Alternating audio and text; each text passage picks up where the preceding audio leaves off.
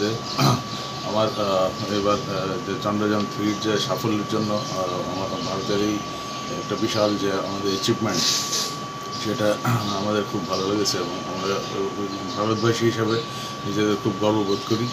আর আমি বিশাল, আমাদের দেশের বিশাল সাফল্যের জন্য আমি একটা, আমার ছোট্ট প্রয়াস মন দিয়ে চন্দ্রযান থ্রি বানানোর চেষ্টা করেছি।